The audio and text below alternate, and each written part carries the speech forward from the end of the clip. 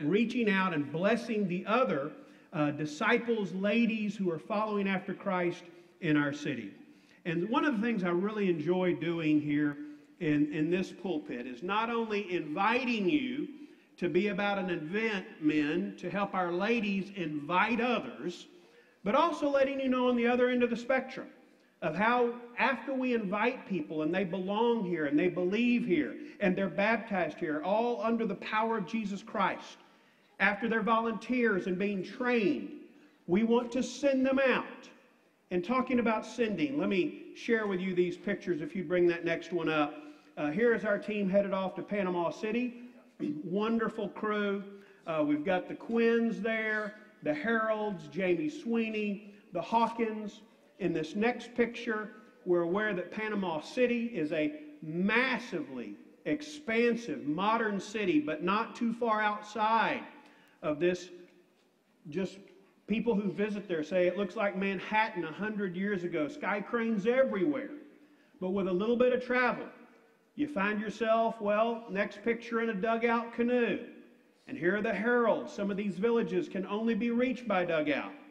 In that earlier shot, you saw a hut, a meeting hall of the Embera village people.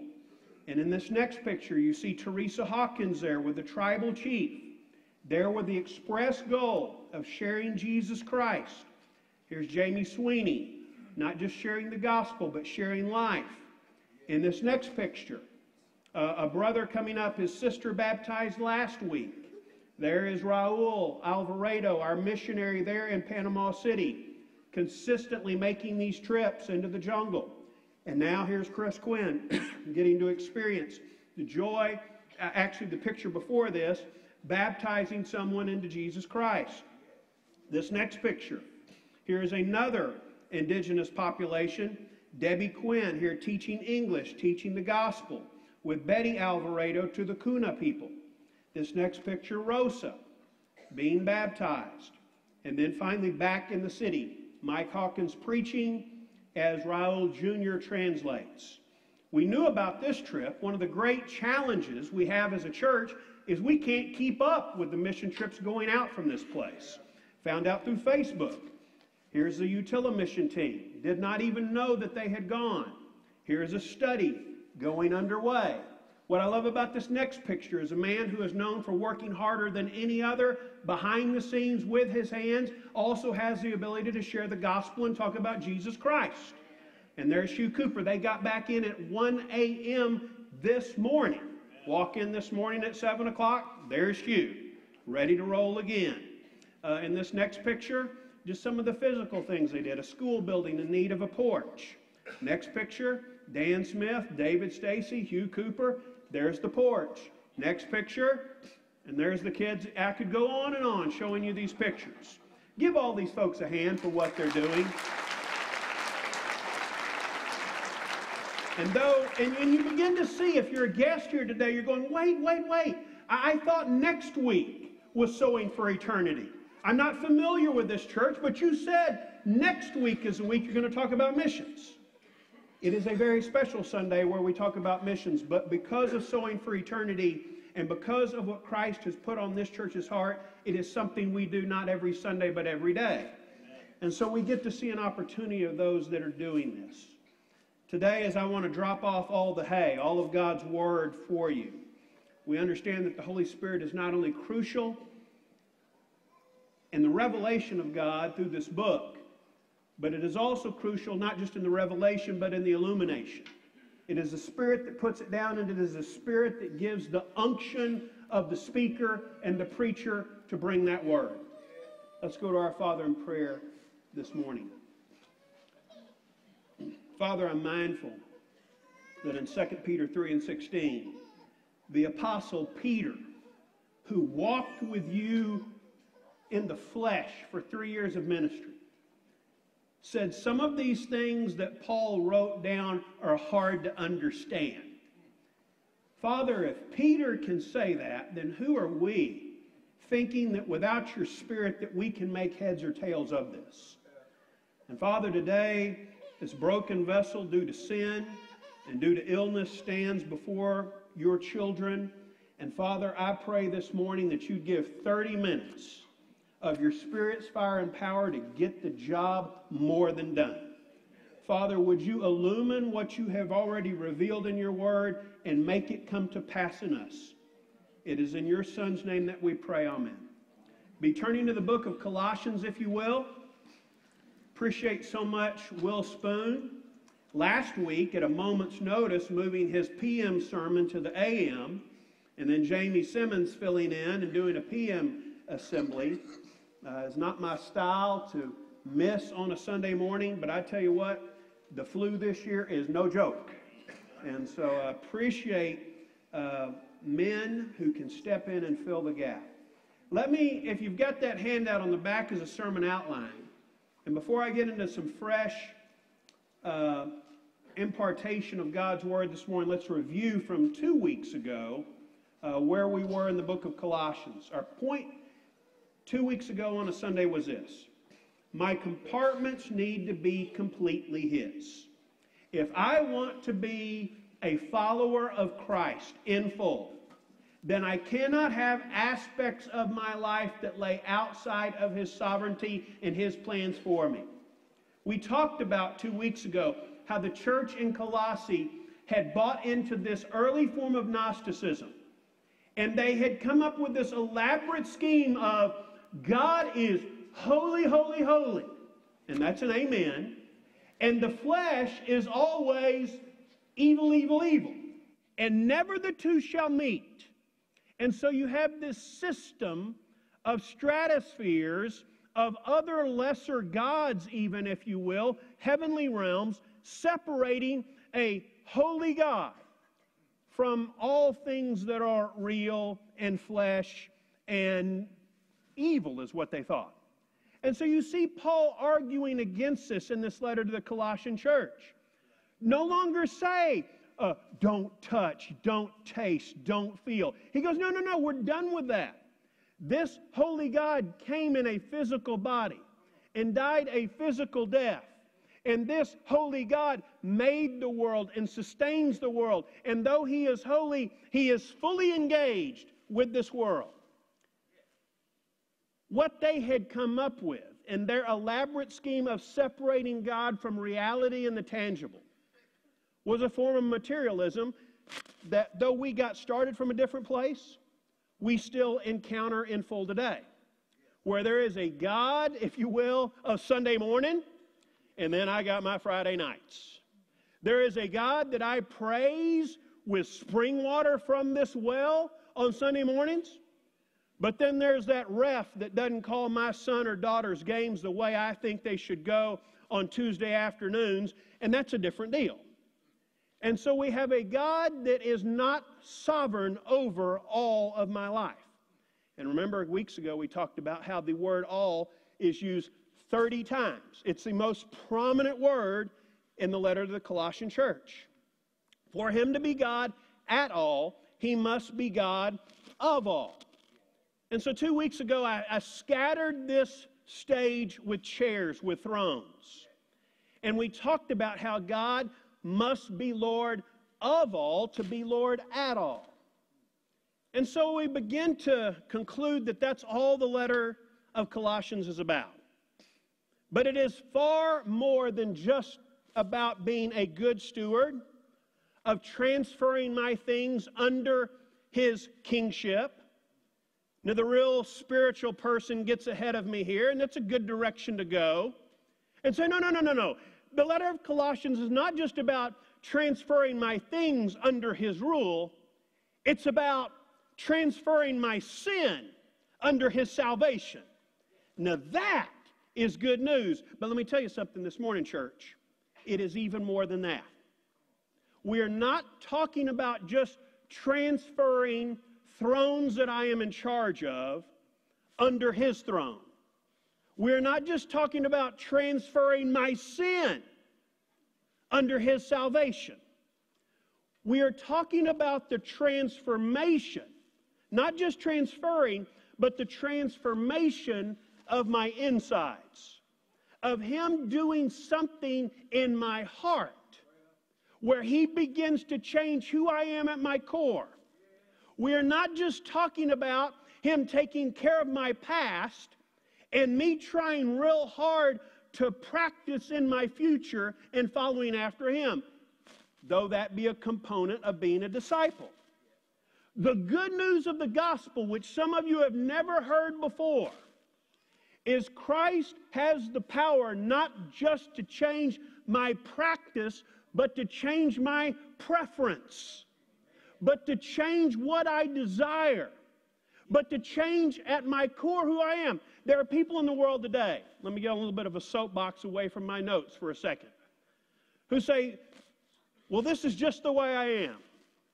And I guess if I wanted to, I could practice real hard to be a different way. The gospel says that though you can practice to be a different way, that if you walk with Christ, He will not only change your outsides, but He will change your insides. He will change your preference. Uh, someone says, I just have fallen out of love with my spouse. And I guess I could practice real hard to fall back in love with them. Amen. There is something to be said for that. There's a lot to be said for that. But there is also something to be said for walking with Christ and not under your own power, just changing your practice, but walking with Christ in the power of the Spirit, which is a confirmed reality through the Bible's teaching and through experience of those who have followed after Him, that the Spirit begins to change your preference. We could bring up again and again, and we should, testimonies of those who said, I had gone this way, back to that, uh, of not loving my spouse as I should, not loving my spouse at all, not having a heart for my kids. But this promise of the Spirit coming and fathers' hearts being returned to their families and their kids. It's not just about me being better, it's about God and what He's doing in my life. Now, I want you to hear me right now.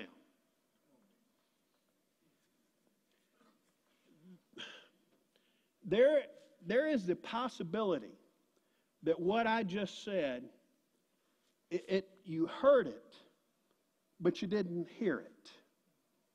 And so I want you to hear the rest of this sermon because what I'm talking about is God and the Spirit having real power to make a real difference in your life in a real way where it does not relegate you from practicing and participating. That'll be clear in Scripture in a moment. But it also does not just lean on that of you of your own accord. So, number two, the point I want to get to today, one of the two points, is my character needs to be completely His.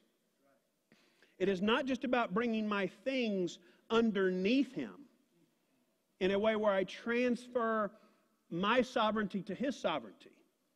And you've seen Christians do this. I want to do everything the way Christ would have me do them. But yet there's no spirit of joy, there's no spirit of love. They're Christians doing Christian things, but brother, if that's the way that Christ operated, there's not that much appealing about that. Where is the abundant life that goes with that? And so, talking about making my character completely His, let's read Colossians chapter 3, beginning in verse 1. Since then, since then, you have been raised with Christ. Set your hearts on things above, where Christ is, seated at the right hand of God. Set your mind on things that are above, not on the things that are on this earth. For you have died, your life is hidden with Christ in God. Let me pause for just a moment to make quick commentary on what we just read. Your life, because of Christ, is hidden with Christ in God. You do not fight for victory, you fight from victory. That's the gospel. Well, I really thought I was trying to get grace, that I was trying to do this or that. You already are. Now bring your life into accordance. You don't fight for victory, you fight from it. He has done this. He, he talks about that victory, reading on. When Christ, who is your life, appears, then you also will appear with him in glory. Therefore, put to death what is earthly in you sexual immorality, impurity, put to death lust, evil desires, greed, covetousness, which is idolatry. On account of these, the wrath of God is coming. In these you too once walked when you were living in them. But now you must put them all away anger, wrath, malice, slander, obscene talk from your mouth.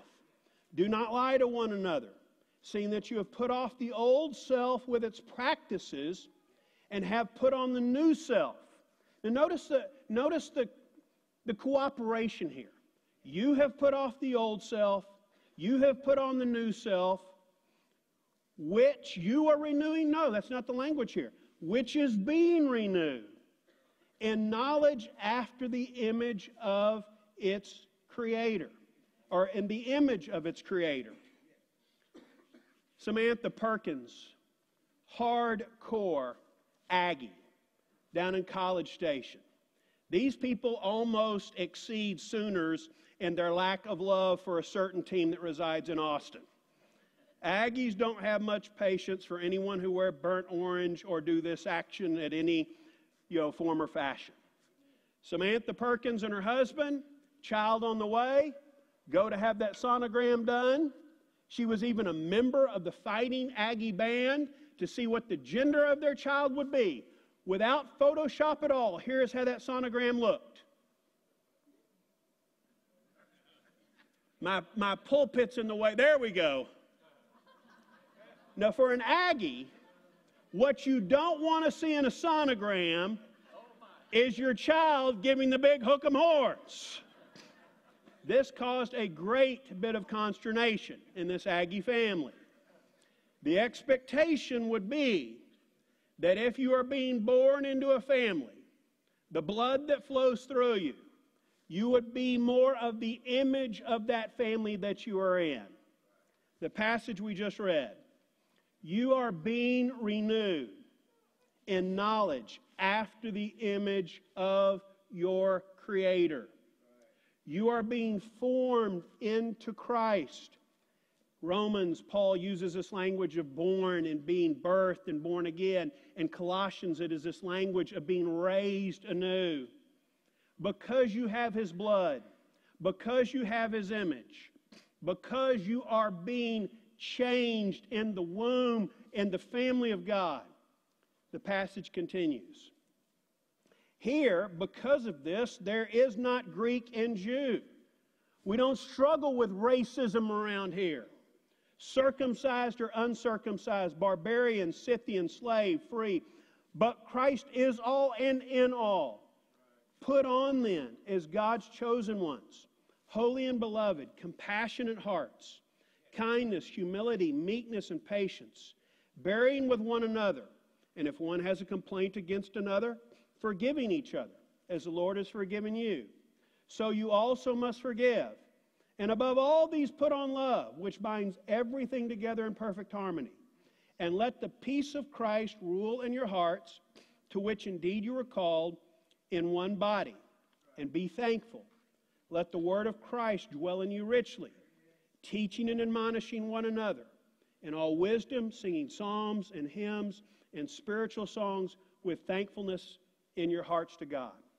Now, let me pick out the word there that as we are being born into his image, is our practice and our preference and our walk with God and our decisions to follow hard after him are working in cooperation with the Spirit to bring us into this new life called discipleship in Christ. Let me share with you the words that we just read that show up over and over again. Have compassionate hearts May the peace of Christ rule your hearts. May He be the one that you have thankfulness in your hearts for. May God rule your hearts. May you set your hearts in heaven. What is the scripture saying here? What is God saying here? It is not just about changing your outsides and your actions, it is about changing the insides in your heart.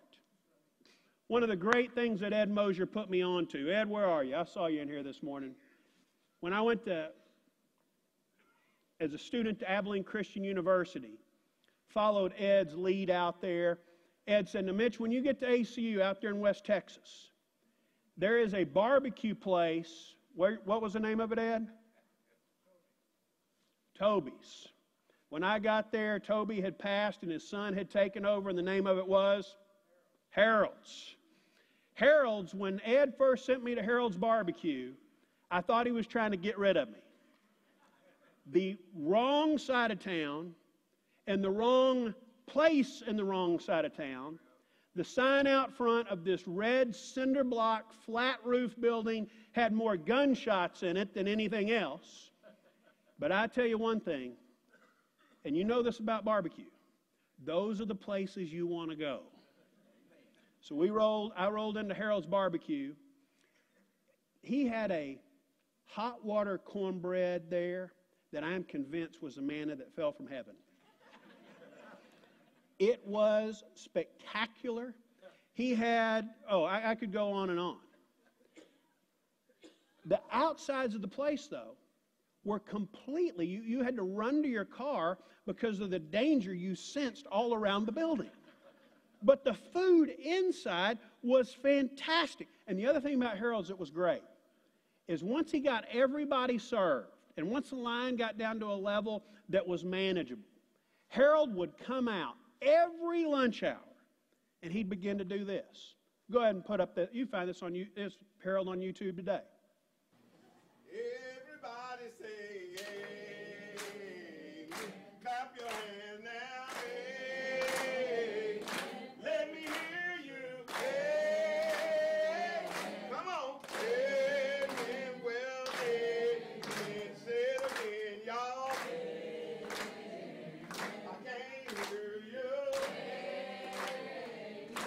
Jeff. That's good. I don't think he's as good as Booker, but it's pretty good. the thing you loved about Harold's wasn't the outside, it was the inside. It was things on the inside were different. That's what God's talking about. How is He changing your insides? How are you submitting to the power of your spirit and yet practicing unto that end? To begin to act, to begin to walk in a way that gives testimony to what he's doing on the inside. Let me, number three, say this this morning. Not only does my do my compartments and not only do my does my character need to be completely his, but number three, my claim needs to be completely his. My preaching, my claims about the gospel need to be completely his claims. Paul clearly states in the book of Colossians this is the gospel. Get ready for this, church. You ask most Christians today what the gospel is, and they'll struggle to give it back to you. They may get hung up on what the response to the gospel is. And Paul here clearly says, This is the gospel. This is his claim. This is my claim. And notice that Paul does this in a time where he's not in a vacuum. There are other people in culture saying, this is where your hope should be. This is where the good news really is. This is where the gospel really is. You say, well, that was back then. How about today? We live in a world today that says your hope, the world's hope, the good news should be found in other things. Here's an example from a, a business commercial I saw just a couple of days ago. We have got a problem. A few problems, actually. We're overproducing, overcrowding, and overheating. We've got aging roadways, aging power grids, aging everything. kind of bumming me out, Clive Owen. No, wait, gets worse. We also have the age-old problem of bias in the workplace. Really? Never heard of it. Seriously, it's all over the I've news. heard of it. Ah. The question is, who's going to fix all of this? An actor? Probably not. But you know who can solve it? Business. That's right. The best run businesses can make the world run better because solving big problems is what business does best. And doing good is just good business. Sorry. So let's grow more food with less water and make healthcare more healthy. It's okay. I'll play the doctor. What have we got here? Let's take on the wage gap, the opportunity gap, the achievement gap. Together we can tackle every elephant in the room and save the rhino while we're at it. Because whatever the problem, business can help. And I know who can help them do it. It's a great example of an evangelist. That is someone who is claiming to enlighten and show the way and share the good news. He has a belief of this is the good news, this is what can help, this is what can, in tongue in cheek, save the rhino as well, this is what can help people get along better, this can develop, uh, business can do things that eliminate scarcity and feed all people. When I first saw that, I was a little bit indignant. I'm not indignant. I, got over that. If you believe that's what the gospel is, then you should be sharing that. We as a people believe in another gospel, and we should be sharing it. We should be sharing what makes the real difference. We should be evangelists. What do we claim in word and deed is the real difference maker in our lives? Do we claim, do we live out that it's our, our, our businesses, our schedules, our sports teams, or are we living in a way where we claim it is none other than the gospel of Jesus Christ? Here's what Paul says. Here is his claim Colossians 1 and 21 and you, once being alienated from God and enemies in your minds because of your evil behavior. But now he has reconciled you by Christ's physical body through death to present you holy in his sight without blemish and free from accusation. If you continue in your faith, established and firm, and not move from the hope held out in the gospel. This is the gospel. What he has just stated. This is not a, not some, not another. This is the hope. This is the good news. By way of review, real quick, what was that?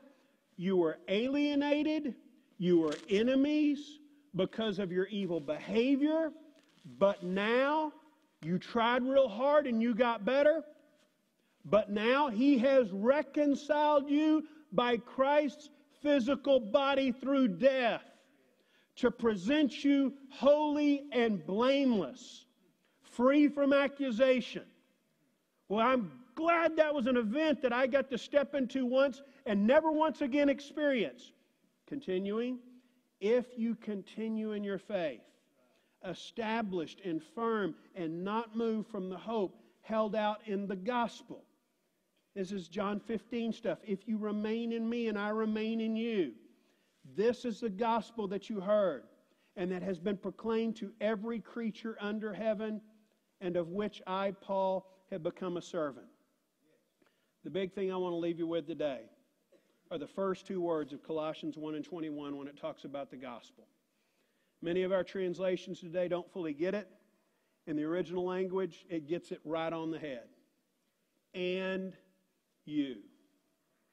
The gospel will never be the gospel. All throughout the Colossian letter is this plural language. And then Paul says, and you. So many times, and Fred, who was evil, and Susie, who was alienated, and Sally, who was an enemy, until you get it that it was and you. That the physical body of Christ was given in death for your life so God could reconcile you to Him and you. When you get that component, it is then that you become, as Paul is, a servant of the gospel. Today, how can you be one that begins as Paul would say, I struggle with all of his power. It's this beautiful mix of our choosing to lean into him that works so mightily in us. How will you give him your character today? How will you give him your compartments today? And how will today you begin to make the claim that is the gospel of Christ? Today, if we can pray for you, today, if you will come, Will you come now as we stand and as we sing?